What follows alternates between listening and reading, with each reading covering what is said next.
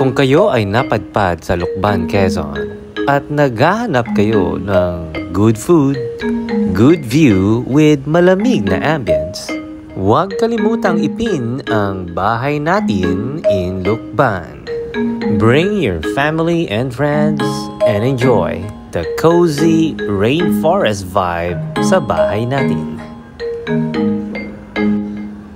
With a price tag that's just about right, experience the flavors of Quezonian tradition in their home-cooked and silog meals.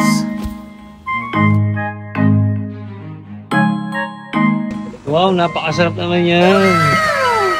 Kuya, ano yan? Tapa ba yan? Dami yan. Sarap ah. oh.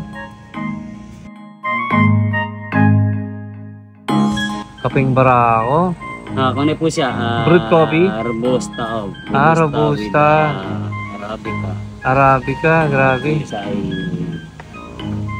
Yun oh. Nalimutan ko isa. Nakalimutan. Ang dami kasi. Iba-ibang klase pa lang ano. no. Yun oh. Fresh na fresh. oh. Kakapigalan guys oh. Anong pangalan nito kuya? Bahay natin? Bahay natin. Ah, bahay ko din to. Ah, ah. Bahay natin eh, no? Kita nyo, magkabahay kayo bigla dito guys. Sa bahay natin. So yan yung...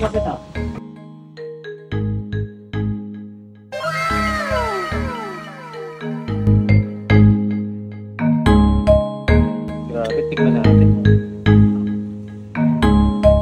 Mm. Sarap nito, may onion, onion.